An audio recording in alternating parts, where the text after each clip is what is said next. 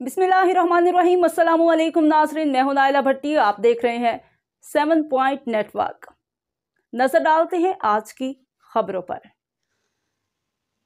Kandkot report, bureau chief Abdul Wahid Tehran. शिया उलमा council Pakistan के मरकजी सेक्रेटरी जनरल अल्लामा doctor Shabbir Hasan Maisami और मरकजी सेक्रेटरी इतलात जाहिद अली अखवानजादा ने तेहरान में मजमा जहानी अहल बेत अलैहिस्सलाम के सेक्रेटरी जनरल हजरतुलस्लामसलमिन आयतुल्ला डॉक्टर रज़ा रमज़ानी से मुलाकात की।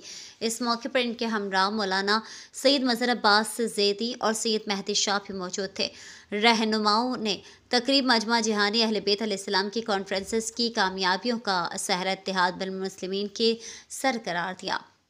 और मुस्तबिल में इसी तर्ज की कॉन्फ्रेंसेस मुनद करने पर इतफाक़ किया। उन्होंने उम्मत मुस्लिमा की यकजहती के लिए आलमी कॉन्फ्रेंसेस जल्द मुनद करने का भी अंदिया ज़ाहिर किया।